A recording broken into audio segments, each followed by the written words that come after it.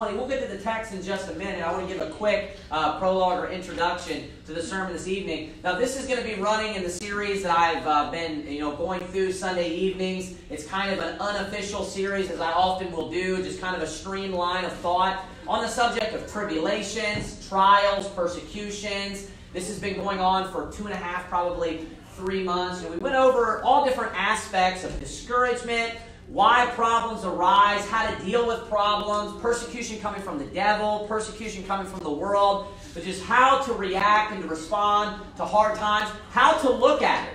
You know, last uh, the very last one that we had was uh, uh, two uh, Sunday evenings ago. We went over the subject with David. And last week, of course, we talked about the heart of David, which tied in with that. But two weeks ago, we talked about David. And I talked about seeing the big picture and how oftentimes we, we don't realize that you know all of the blessings that the men of God of the Old Testament received were, were balanced out or were countered with a lot of negative. David is a man that we think of, of of being blessed mightily, but we also forget that David was a man that had more problems and trials and tribulations than probably any other person in the entire Bible. He's a man after God's own heart. He's a very godly man. He's a better man than you know probably any man that was in the entire Old Testament. But he was a man that had more trouble, trials, tribulations, persecutions, and problems than any other person in the Bible. Now, oftentimes people react in different ways to this. Michaela, Michaela, give me some water, please. People will respond and react, and they'll view their life and their problems in different types of ways. Now, sometimes you, know, you have those out there that preach, you know, the prosperity gospel. That if something bad is happening in your life, well, then you must be doing something wrong. You have to be doing something wrong. And they have these two, you know, sides here that you have to be on, which that's false. That's not true. We know that the Bible teaches that all that will live godly in Christ Jesus shall suffer persecution. So everyone that lives godly will go through persecution. There is no one that is exempt to this. There is no one that is excluded from this. Anyone who lives a godly life is going to suffer persecution. Without a doubt, it's going to happen. So we can see that there are lies that are in this prosperity gospel, that everything will be perfect in your life. You'll never have any problems or trials, right? But also, sometimes it can be that we can be going through trials and tribulations, not because we're living godly, sometimes because we're living ungodly. Sometimes it, we need to have the attitude, and I spoke about this a couple of weeks ago as well Lord, is it I? Is there something that I am doing?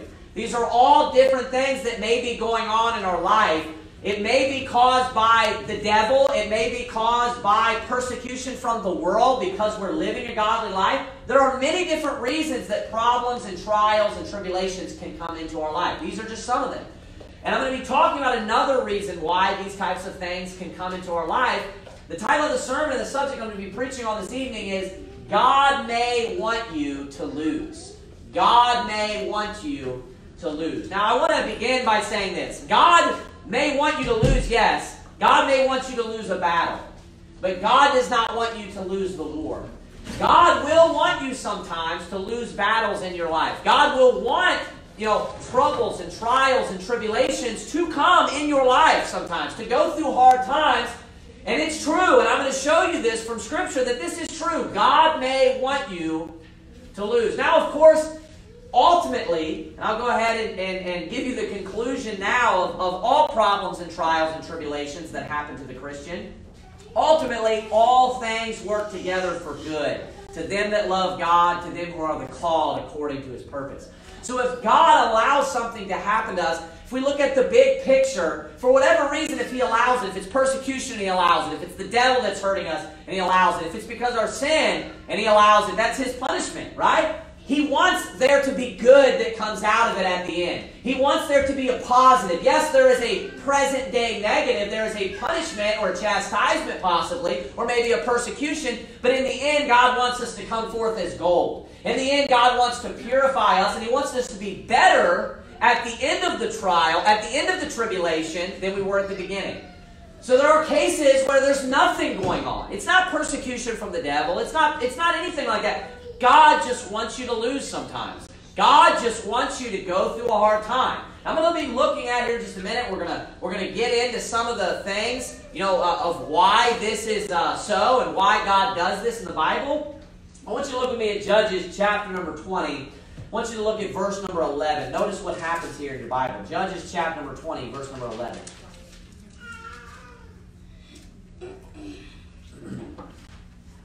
Bible says, So all the men of Israel were gathered against the city, knit together as one man.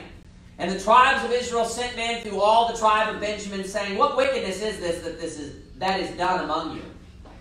Now therefore deliver us the men, the children of Belial, which are in Gibeah, that we may put them to death and put away evil from Israel. But the children of Benjamin would not hearken to the voice of their brethren, the children of Israel. But the children of Benjamin gathered themselves together out of the cities unto Gibeah to go out to battle against the children of Israel. And the children of Benjamin were numbered at that time out of the cities twenty and six thousand men that drew sword, beside the inhabitants of, of Gibeah, which were numbered seven hundred chosen men. Among all this people there were seven hundred chosen men left-handed. Every one could sling stones at a handbreadth and not miss. And the men of Israel beside Benjamin were numbered 400,000 men that drew sword. All these were men of war. And the children of Israel rose and went up to the house of God and asked counsel of God, and said, Which of us shall go up first to the battle against the children of Benjamin? And the Lord said, Judah shall go up first. And the children of Israel rose up in the morning and encamped against Gibeah. And the men of Israel went out to battle against Benjamin. And the men of Israel put themselves in array to fight against them at Gibeah. And the children of Benjamin came forth out of Gibeah and destroyed down to the ground of the Israelites that day 20 and 2,000 men. And the people, the men of Israel, encouraged themselves and set their battle again in array in the place where they put themselves in array the first day.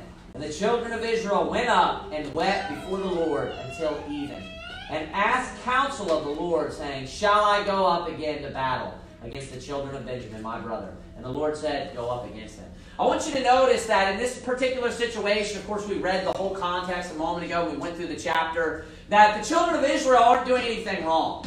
They're not in a particular sin. There's no sin that's mentioned that's going on in the nation of Israel. There's no problems. There, there, there, there, there's no iniquity that's hidden. Nothing ends up happening with that.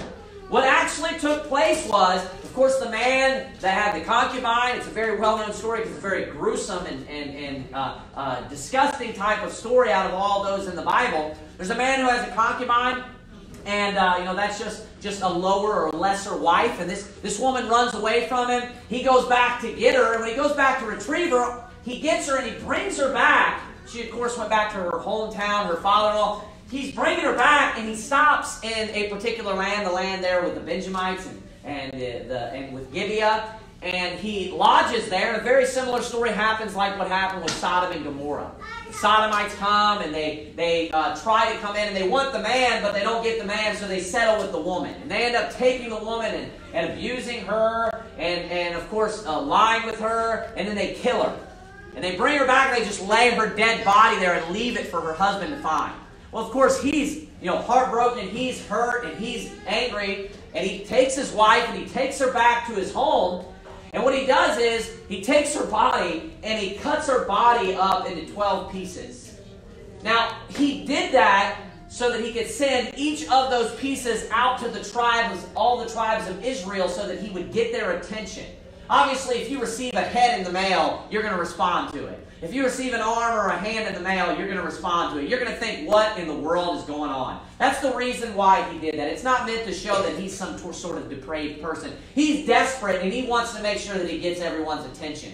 And he actually says, if you look in your Bible, I don't remember exactly how it's worded, uh, but uh, he says in, uh, in Judges chapter number 20, Right, yeah, verse number six. And I took my concubine and cut her in pieces and sent her throughout all the country of the inheritance of Israel. For they, notice four, because they have committed lewdness and folly in Israel. So why did he do it? They committed lewdness, something disgusting, and folly, like foolishness, like a horrible sin in Israel. So he wanted to show these people how bad this was that happened. That was meant to represent what had happened unto him. So he wanted to make sure that he got their attention. Of course, that got their attention. They came and they're like, what is going on? He explained everything to them, and they, they knew, and they had a righteous heart and said, This is ungodly. This is wicked, and these people deserve the death penalty. They didn't go there trying to kill the Benjamites. They didn't go there trying to just wipe out the entire city. They went there with the right heart, and they went there and they said, Hey, men of Benjamin, send out the men of Gibeah to us.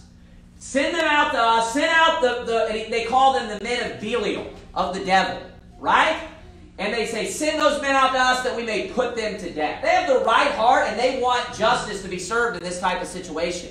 So what happens is they assemble all together and then they go and they pray first to God. They take counsel with God first. I want you to notice over and over again that they have the right heart. They're doing what is right. They're not in sin, they're not committing iniquity. They have the right heart. They go and they pray to God and they take counsel of God and they even ask God, What shall we do? Who shall go up first? Shall we go to battle against the men of Gibeah?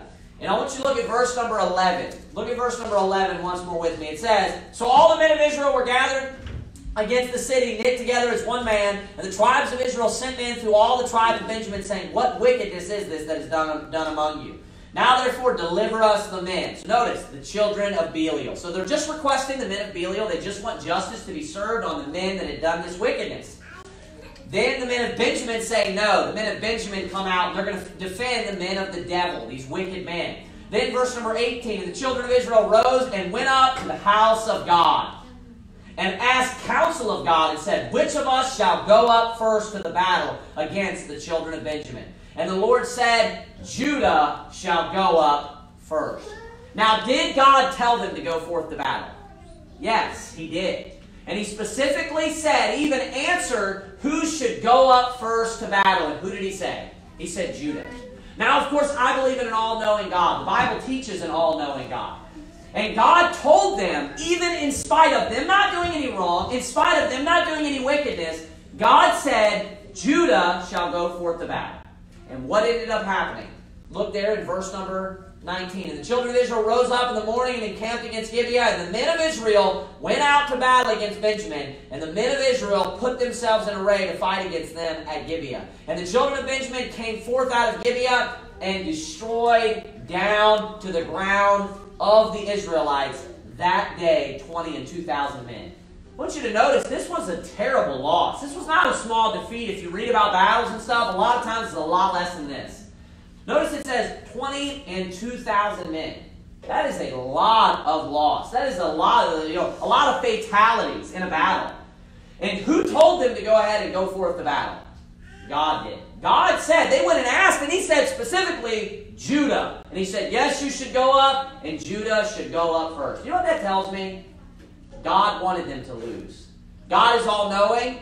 God knew what was going to happen, and He told them to go up anyways. And you know what happened? They lost.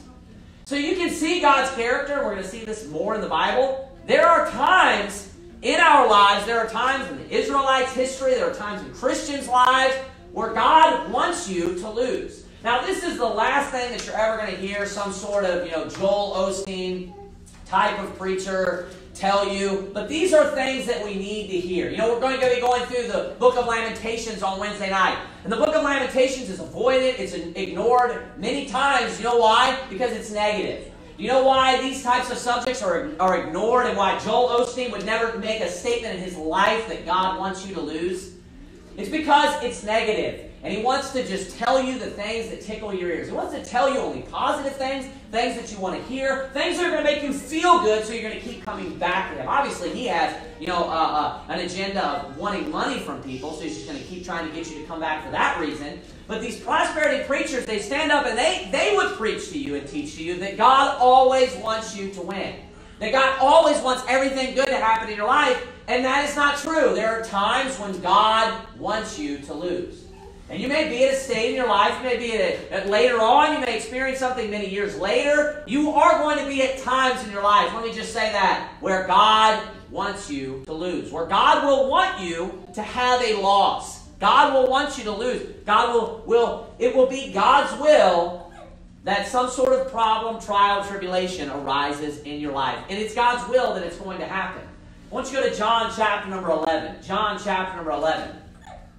Now, of course, the, the Joel Osteen, they're just going to preach, you know, just the tickling ears messages, but that's not always what we need to hear because you know what ends up happening? The type of people that listen to a Joel Osteen, that listen to these prosperity preachers, that just tell them everything's going to be good in your life, those types of people are the ones that completely fall away from God if they're saved, or they just completely reject the, uh, you know, the God of the Bible and the Bible in general when they actually start experiencing hardship and problems and trials because they've been fed this false narrative and this, you know, this, this, you know, uh, uh, uh, unrealistic type of expectations for life and the Bible. The Bible is an extremely negative book because life is very, very negative. So you know what the Bible does? It braces you for life.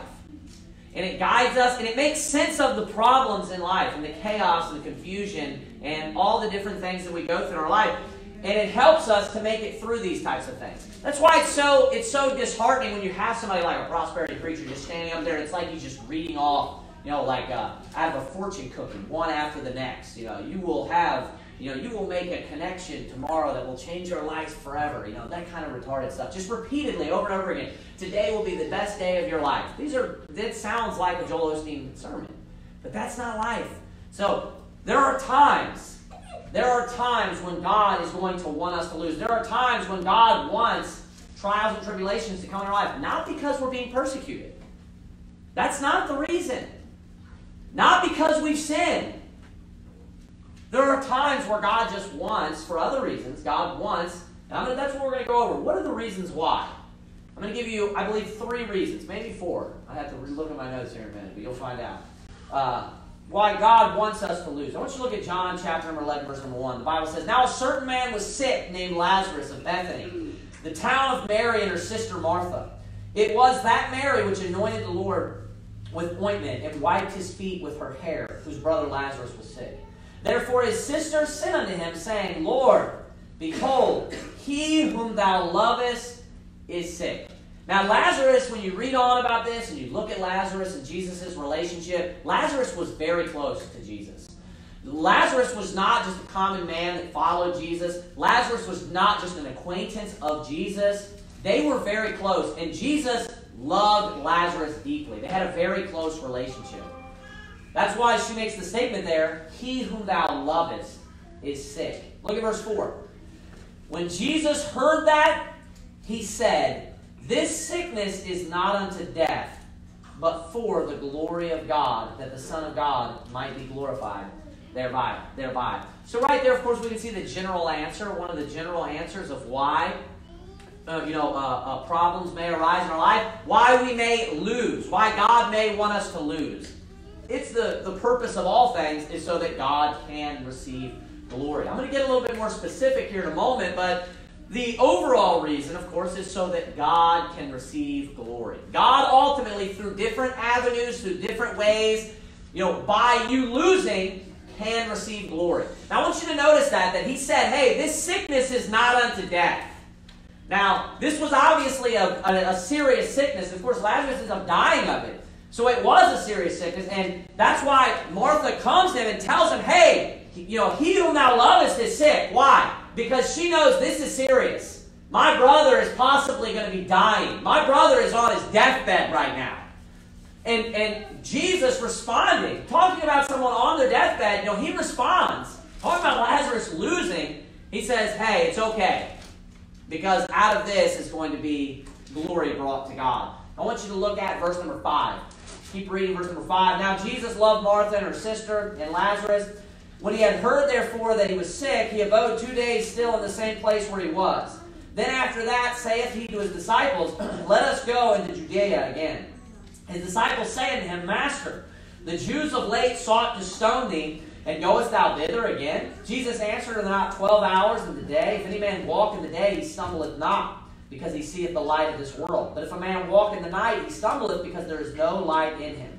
These things said he, and after that he saith unto them, Our friend Lazarus sleepeth, but I go that I may awake him out of sleep. Then said his disciples, Lord, if he sleep, he shall do well. Now watch this. Howbeit, Jesus spake of his death, but they thought that he had spoken of taking of rest in sleep. Now, if you pay close attention to the story here, there was only one messenger that came to Jesus.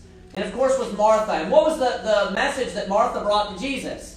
Lazarus is sick. Now, was there any message at that time that Lazarus had died? No. Never brought any message specifically that Lazarus had died. That's why Jesus' disciples were clueless. But of course, Jesus being God, knowing people's thoughts, knowing, you know, all things, You know what Jesus knew about this sickness? That Lazarus was about to die. He already knew from the very beginning that out of this sickness, what was going to happen? God was going to receive glory. From the very beginning, God was going to receive glory. Now, if you pay close attention also, you would have noticed that when this news was brought to Jesus, Jesus didn't leave right away. Jesus didn't go there right away. Did you notice that? It says that he waited two days. He waited two days before he went to Lazarus. But then after that, it's revealed that all along Jesus knew what? That Lazarus was going to die. Because he tells his disciples he sleepeth. And they, they thought that he taught they, that he uh, spoke of you know taking a nap, like sleeping in that sense. But he was saying, he spoke plainly, you know, Lazarus is dead. Lazarus died. So Jesus knew all along, didn't he? But he didn't go right away, did he? Now, could Jesus have prevented Lazarus from dying? While he was still alive and he was just sick, he raised many people on their deathbed. He brought people back from the dead. Of course, we're going to see he brought Lazarus back from the dead.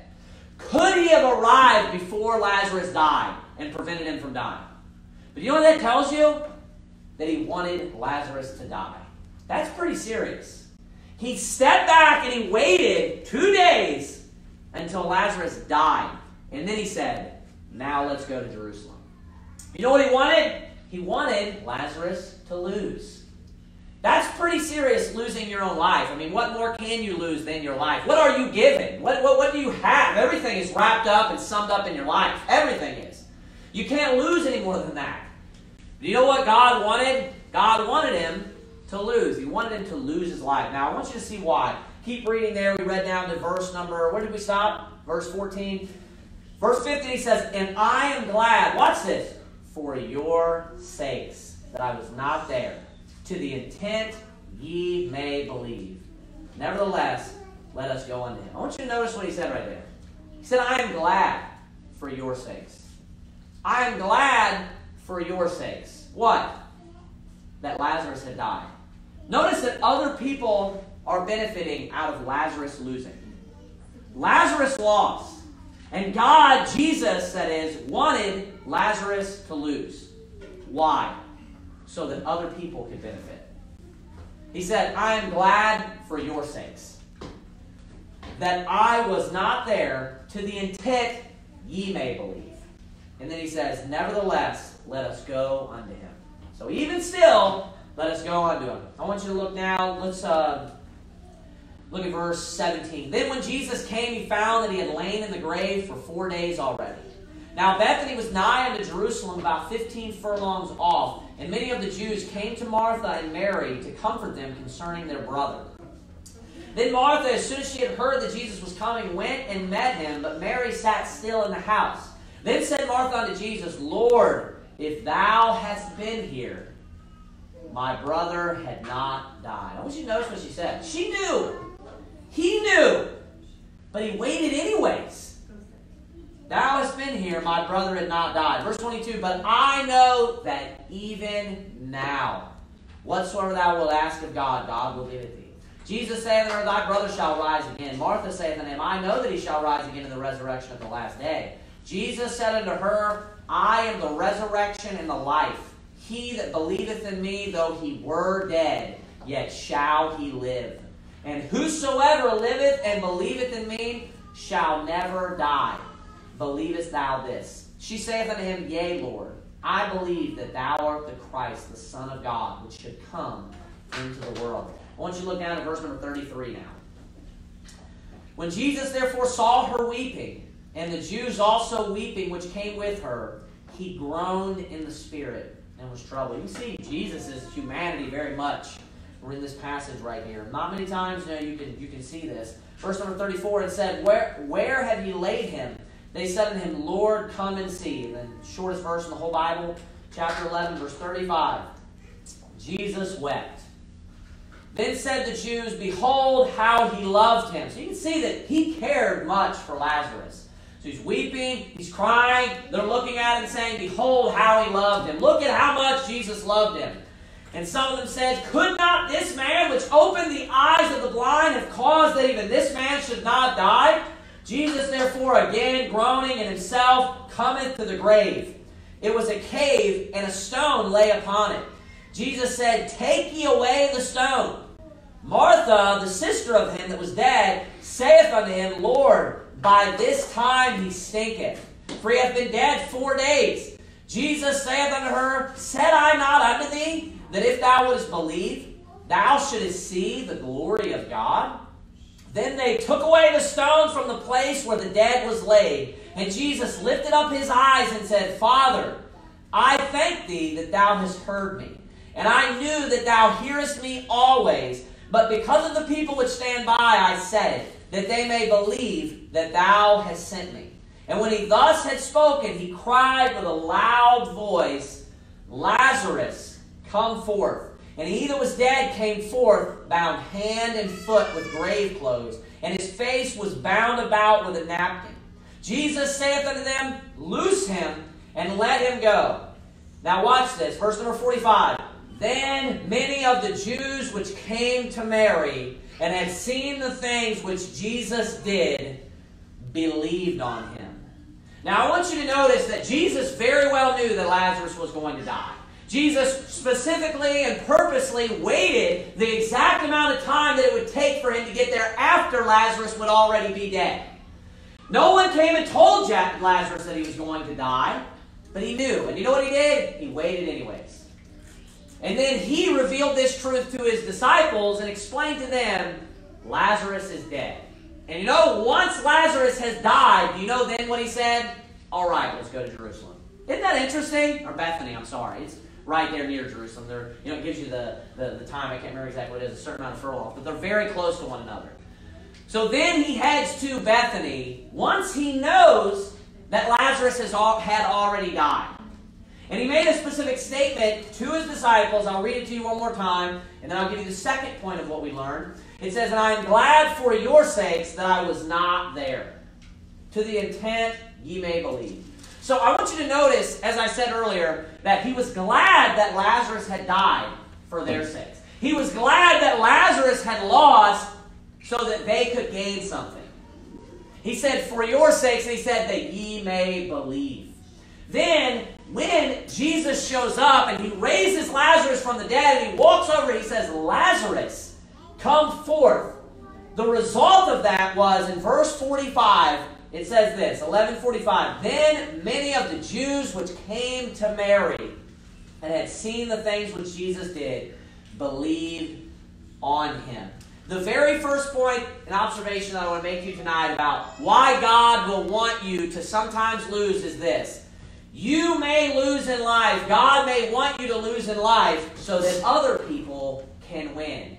You may go through a problem, you may go through a trial or a tribulation or whatever it may be in your personal life so that other people can ultimately win. You may have some sort of major problem, major trial. You may go through something small, you may go through something big, but the purpose of that in God's will and in His plan for your life is that other people would end up being victorious out of that. Just like how Lazarus had to lose his life. I mean, that's pretty extreme.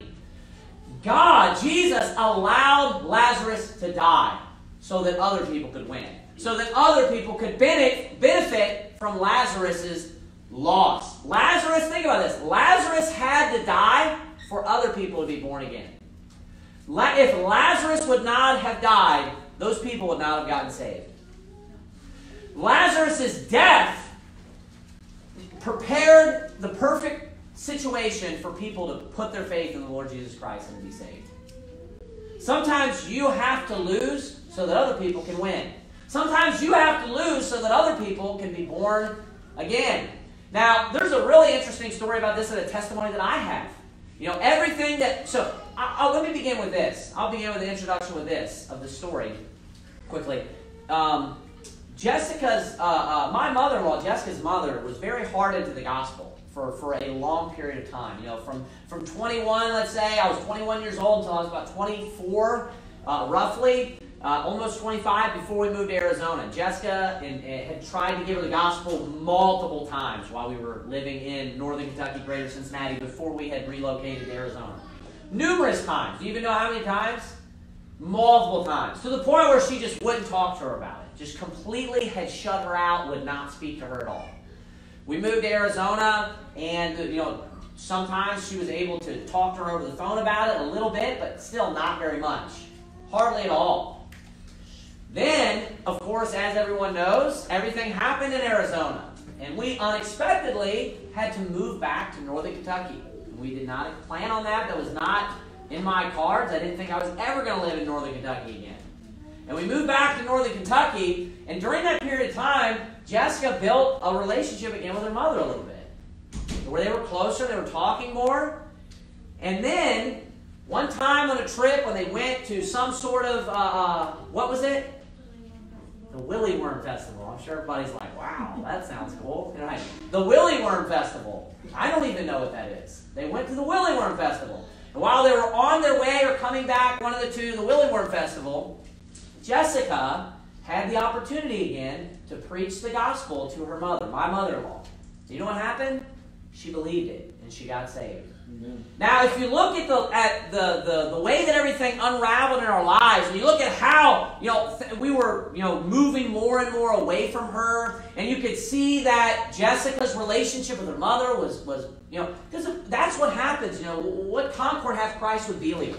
The more you draw closer to Christ, it's sad that those that are not saved, even if they're family members, you'll move further away from them, and there will become a larger and larger wedge in between the two.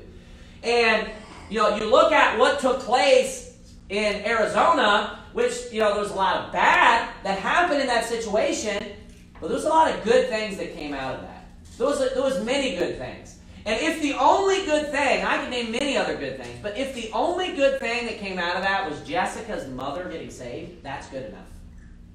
You may think, well, man, that's pretty, you know, that's pretty extreme that you'd let all that happen just so, yeah, one person could not spend eternity in hell? Yeah, that's good enough. Amen. Lazarus lost his life and died so that multiple people could be saved. So that multiple people, he, you know, died. He lost his life so that people could be born again. You know, there's multiple things. I grew closer relationships with many different people over that period of time. I got to meet many different people. I can't tell you how many people told me, like, I, you know, it's terrible what happened, but I'm glad that this took place. The, the, you know, uh, we love the Faulkners to death. The Faulkners uh, made a statement one time that, hey, we're really sad about what happened in Arizona, but I don't want this to sound selfish, but we're happy we got to know you guys, you know, so well. And we got you guys, you know, uh, move back up here. We're going to spend so much time with you. Obviously, they were a blessing to us just as, as much as we were to them. You know, I'm happy about that. So you know what ended up happening? We lost, but you know what? A lot of other people gained. We had major bad things happen. You know, we had good things happen to us also as a result of that as well. But a lot of good ended up coming out of that for other people also. Just like Lazarus lost, Lazarus had to lose, and something very bad had to happen to Lazarus. Like I said, that's the most extreme example as you could possibly get. Losing your life is all you have. And what happened to other people? Other people were able to be saved. Other people were able to be born again. Because why? because Lazarus lost. So notice that point number one is you may lose so that other people may gain. You may lose so that other people may gain. I want you to go to John chapter number 9. I'll give you another example of this. And give you two other points back to back. John chapter number 9. John chapter number 9, verse number 1. And as Jesus passed by, he saw a man which was blind from his birth. And his disciples asked him, saying, Master, who did sin, this man or his parents, that he was born blind? Sound like Job's friends, right? Or, you know, Joel Osteen, just like we were talking about a minute ago. Verse 3 Jesus answered, Neither hath this man sinned nor his parents. Now, watch this. But that the works of God should be made manifest in him. I must work the works of him that sent me while it is day. The night cometh when no man can work. We just sang the song that comes from that verse, by the way. That's where that song comes from, you know that. But I want you to notice what he said.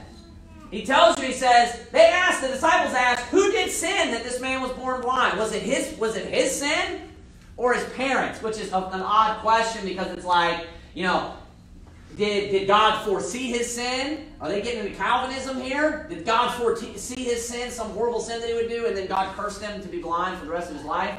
Right? But, because uh, he said born blind, that he was born blind. So they're, they're trying to, they're, they're having this attitude that basically is, is webbed into this series of why is this happening to me? That, that would have been a good title if I would have forethought that a little bit better. You know, uh, why is this happening to me? And all the different reasons why you can have these problems, devils, you know, persecuting you, the world persecuting you, all these different things, right? And they're, they're assuming the, the, the one option that so many people do.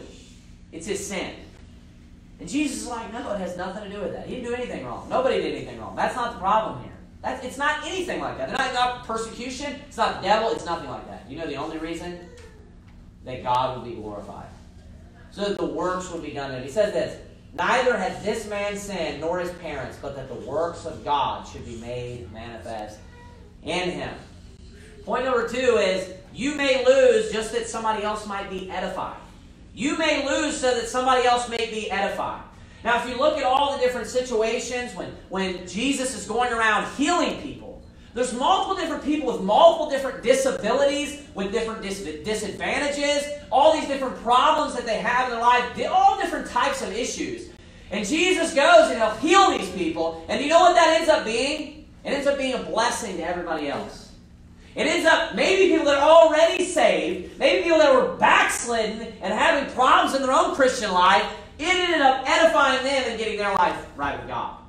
But you know, that person had to live with a loss their whole life up to that point. This man had to live his life all the way into his adulthood blind where he could not see a thing. That's a major curse. That's a major problem and trial. And you know the only reason? So that Jesus could heal him and bless other people by seeing it. Amen. I want you to think about that. I mean, that's pretty serious. The only Jesus answers the question. It's not for sin. It's not for his sin. It's not for his parents' sin. This only happened so that I can heal him and bless other people. Amen. And that other people would believe on it. And that this would edify other people. Sometimes you're going to have losses, you're going to have disadvantages, you're going to have problems in your own life so that other people can be blessed by your testimony. So that other people maybe can see the works of God in your life, and then you can edify or bless those people. Not only that, but point number three, your testimony in general with your specific trial or tribulation can help others. Turn to James chapter number 5. We're very close to being done. James chapter number 5. You, God may allow you to go through a trial. God may allow you to go through a problem or a tribulation, a very specific issue. And I know that this has happened to me in my life. So that you can bump into someone, or you can maybe become friends with someone, or, or grow a relationship with someone, and then find out that they had the exact same thing happen to them. Or they went through the exact same problem. And you know what you can be? You can be an example of that person. That could be the reason why God allows bad things to happen to you. That could be the reason why God wants you to lose. You know, it's a pretty powerful thought thinking God wants you to lose. To the extent of being blind your whole life. To the extent of losing your life. But you know what? You have to lose so that other people can gain. Look at James chapter number 5. This is, of course, whoops, I went too far. James chapter number 5 is about Job, is what we're going to read. James 5, verse 10 is about Job. Now, what happened to Job outside of losing your life doesn't get any worse. Some people would probably argue that it'd probably be better to lose your life. He lost his children, all of his children died. You know, his wife left him. He lost all of his wealth. He was literally richest man, basically, in, you know, in the world, if you just want to say that, the East. He was a righteous man. I mean, everything. I mean, he was an extremely wealthy man, lost everything. It couldn't have been any worse. A lot of people, as I said, would probably say, I'd rather die than have all that happen. He's cursed from like the head, from his head to his feet, just the crown of his head to the soles of his feet. I mean, it doesn't get any worse than what happened to Job. He's you know using pot potsherds, just broken shards. That's shards and shards are basically the same word.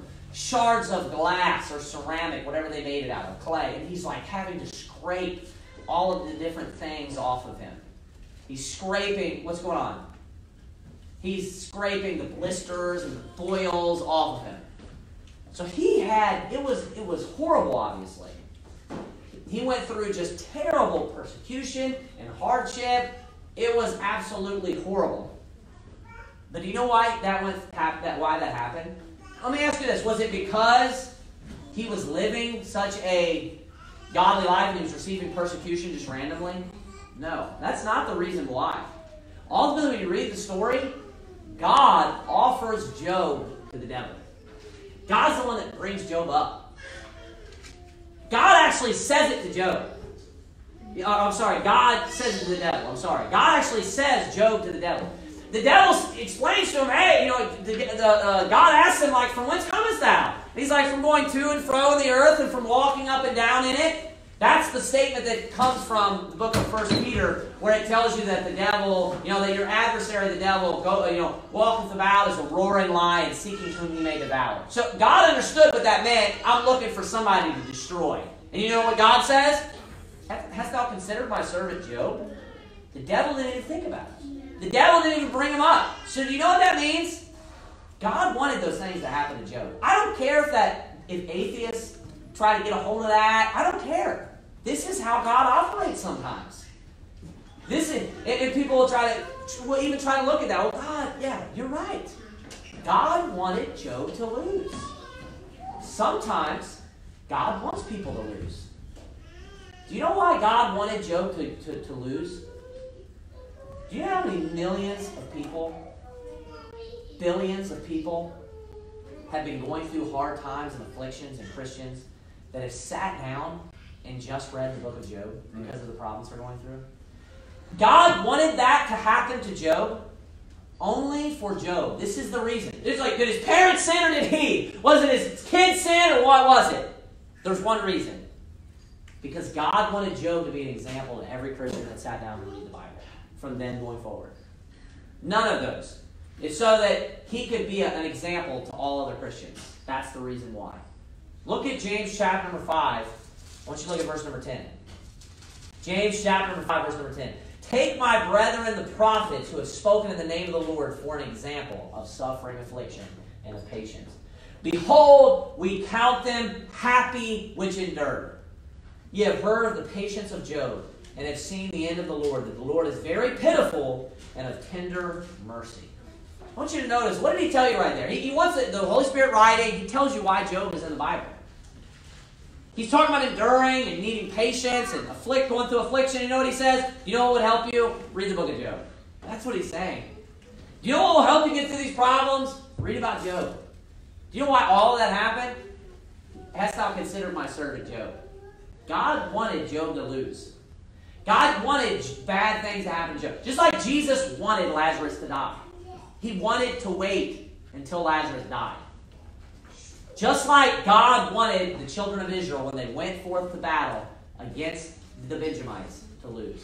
He said, Go forth. And he said, Judah shall go first. And you know what happened? They lost. And thousands of people died.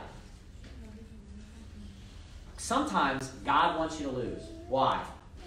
Sometimes you have to lose so that you can help other people. Sometimes you have to lose so that other people can be born again so other people can get saved. Sometimes you need to lose in your life so that you can edify other people, and other people can maybe get back into serving the, the, the God, get back into get back into serving God, and get back into the Christian life and fighting the Christian life.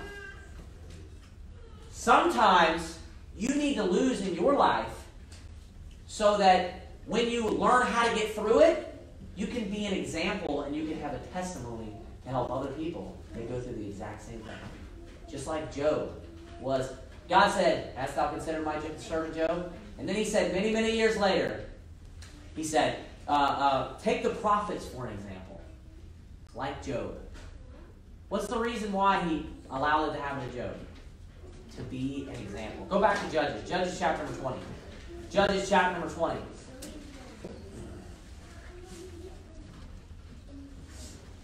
Joshua, Judges. Judges chapter number 20. Look at, what do we leave off? Verse number, we left off in verse number 23. We'll read 23 more time. The children of Israel went up and wept before the Lord until even and asked counsel of the Lord, saying, Shall I go up again to battle against the children of Benjamin, my brother?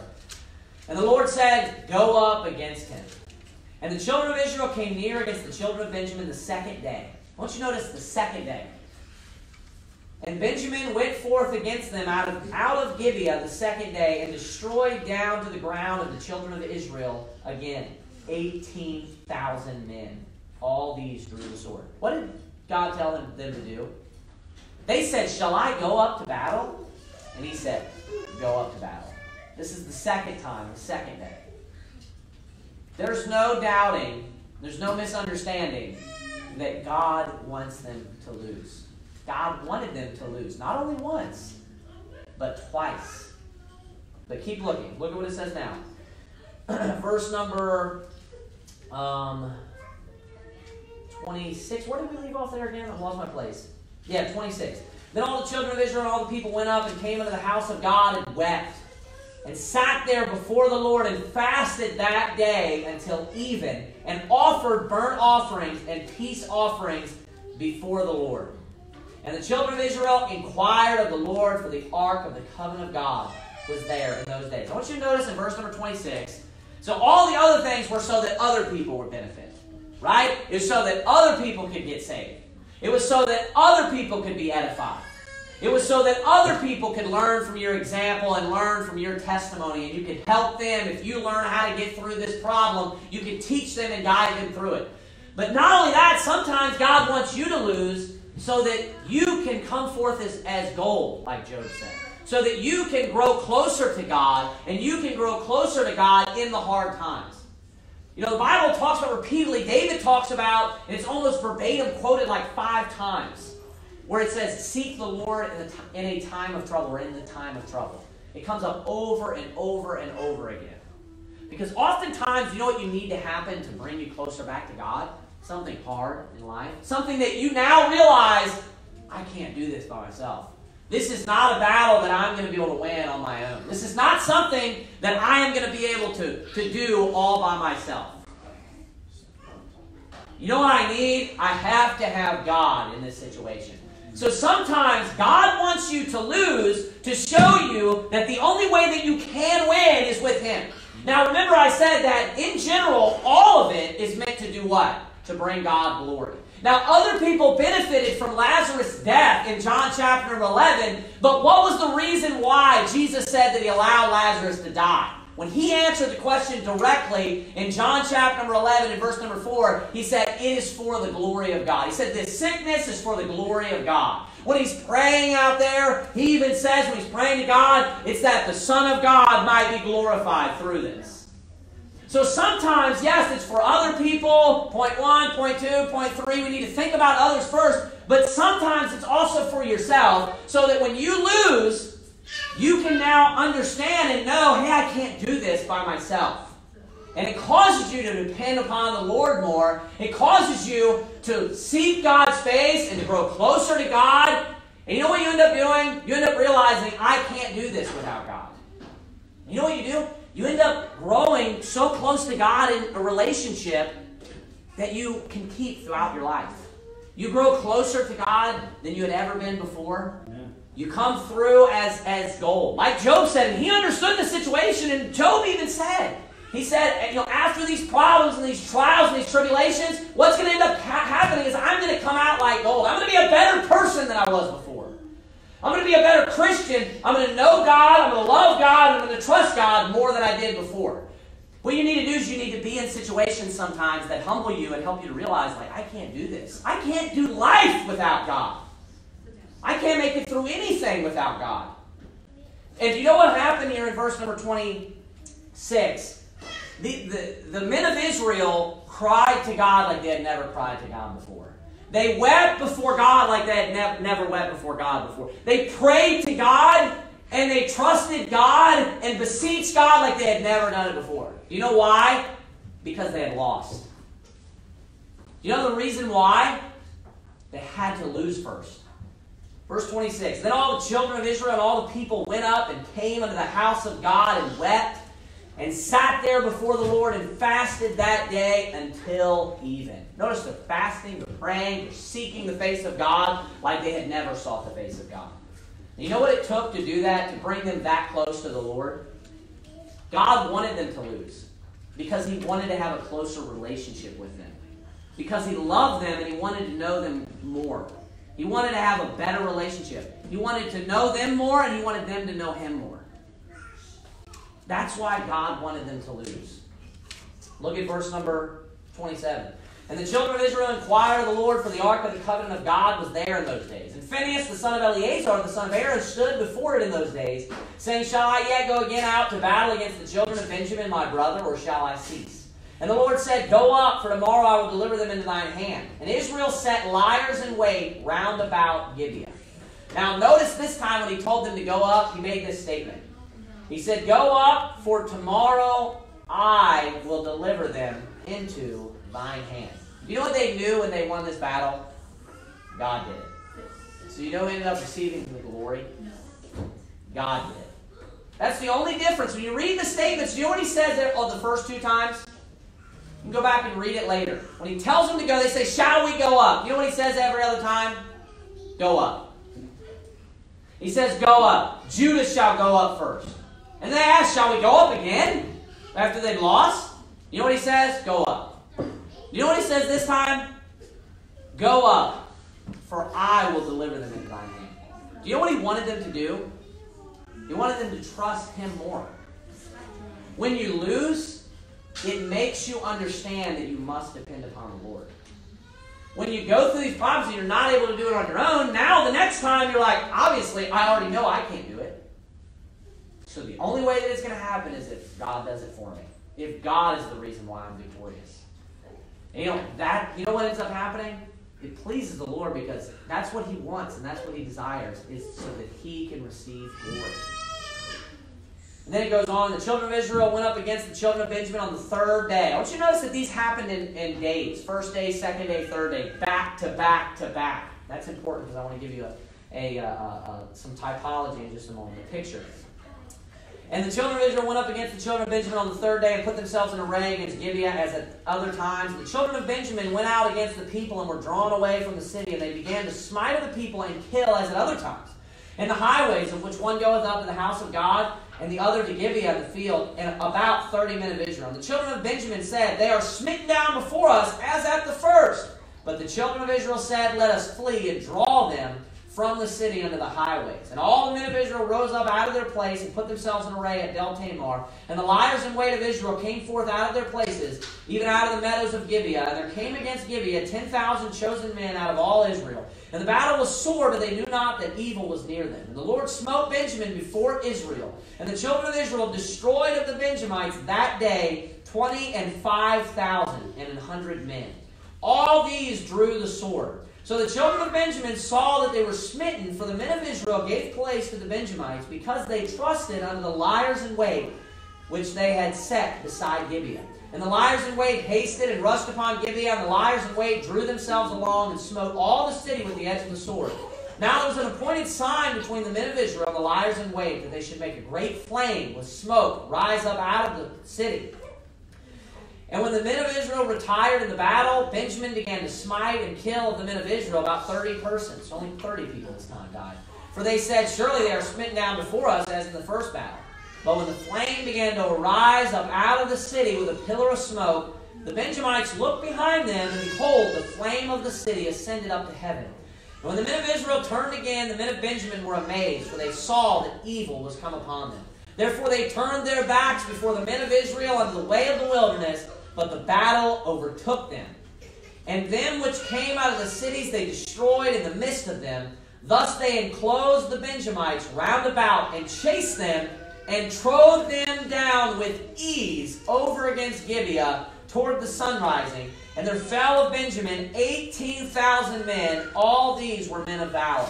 And they turned and fled toward the wilderness under the rock Rimmon. And they gleaned of them in the highways, 5,000 men, and pursued hard after them unto get them, and slew 2,000 men of them, so that all which fell that day of Benjamin were 20 and 5,000 men that drew the sword. All these were men of valor. But 600 men turned and fled to the wilderness under the rock Rimmon and abode in the rock Rimmon for four months. And the men of Israel turned again unto the children of Benjamin and smote them with the edge of the sword, as well the men of every city as the beast and all that came to hand. Also, they set on fire all the cities that came to. I want you to notice now, the third time they go up, what took place? they were victorious and they won.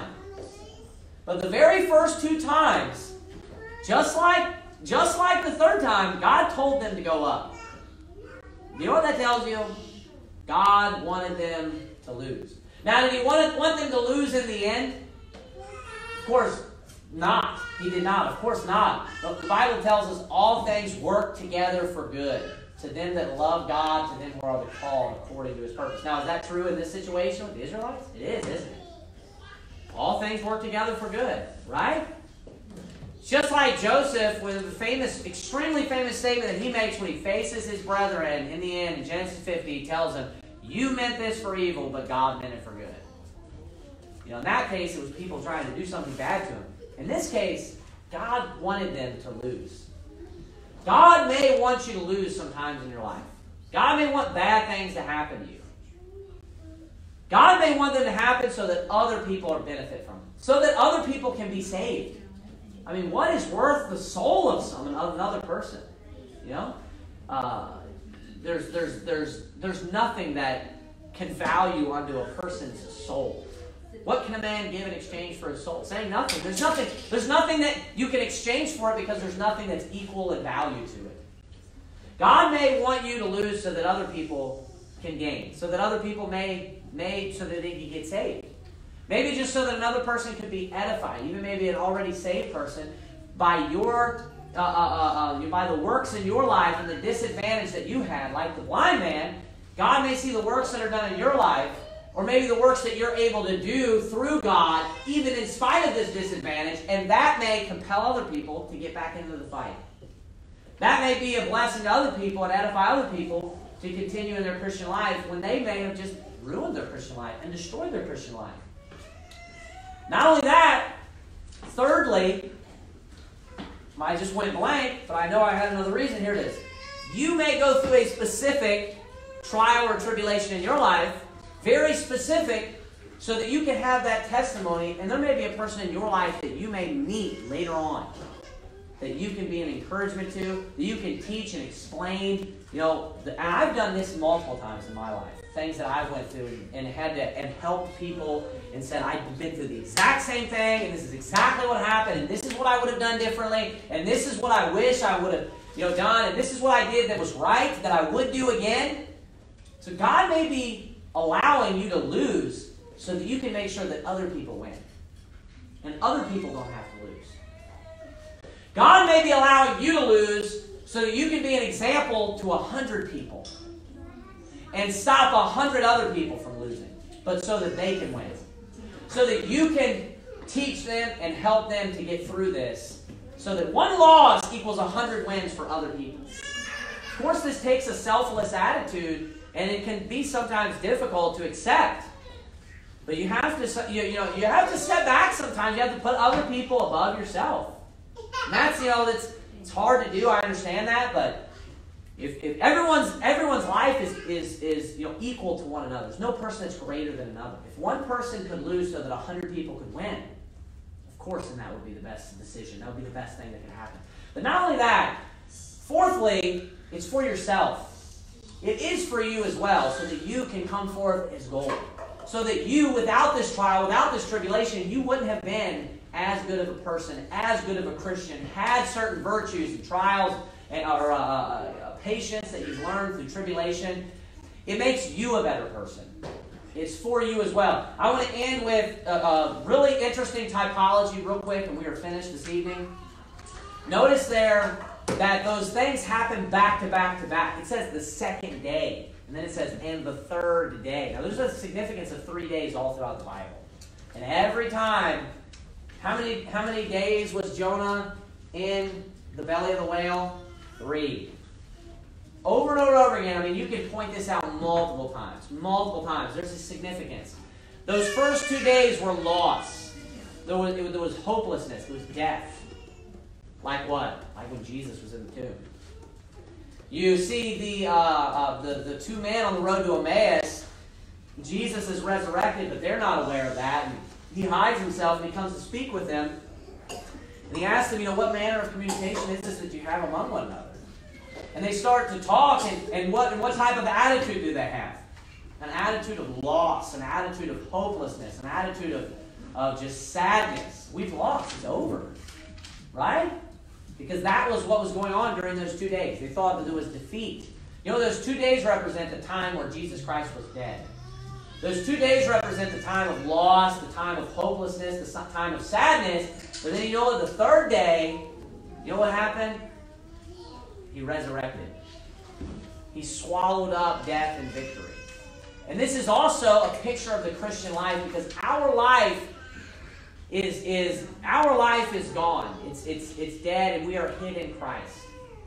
We may go through problems and trials and tribulations and there's good that's going to come out of it, and we can just focus on the, the, the, the, different points like I had just went through.